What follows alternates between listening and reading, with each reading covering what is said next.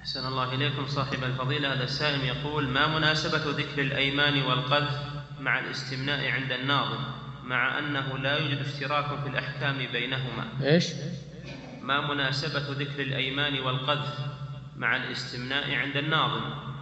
ولا لا. يجوز مع أنه لا يوجد اشتراك في الأحكام بينهما؟ يعني كلها محرمات. يعني كلها محرمات. فجمعها ولأنه يتكلم هو يتكلم عن القذف والزنا وهذا من الاستمتاع المحرم فله مناسبة. نعم.